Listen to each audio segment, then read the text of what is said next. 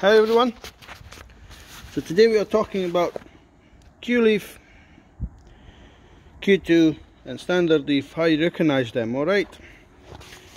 So those are second hand, you've got the, the, old bearings on so we just kept the, the old gear on the top of it because it can, it's been, can be reused so that's the reason why we got those cable ties but so the main things is that this is a standard diff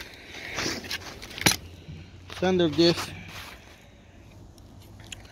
as you see here that's what it is it's got. The spider gear or satellite whatever you want to call it and that's a standard. And you will recognize on the car by taking the drive shaft off seeing the shaft in the middle of it right? This is a Quaife one so basically it's a Torsen, right? It's a brand new one from a British company, Quaife. Brand new. And inside it's closed. So it doesn't have the hole all the way through. And this is a Torsen gear, uh, diff. And it's got these little gears which you can see that way. And there are five of them. Okay and this instead is the Q2 diff so inside of the hole is a straight through again to recognize that you take one drive shaft off and there is a straight through hole. And on this side you have multiple gears and it's different. So this is a Quaife and that's a Q2 so that's the way you recognize them. Alright just leave a comment down below. If it does help uh, sorry for the aircraft to the airport sometimes cover our voice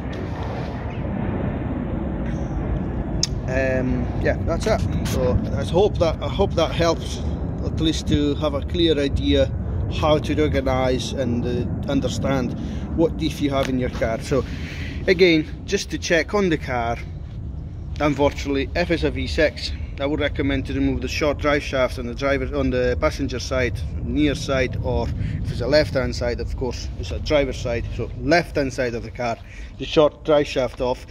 On a diesel, it's much easier to remove the other side because you've got three bolts and you just pull the shaft off, but unfortunately, yes, on a 147, there's a suspension off and everything. Instead, on a GTV, it's just the ball joint and uh, the drive shaft off on the on the pass on the uh, left side.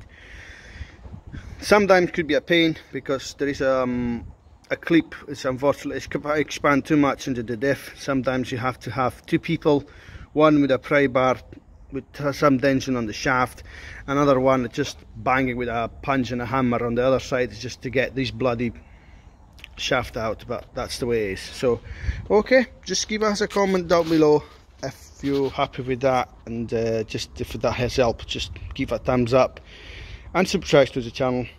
Have a nice day everyone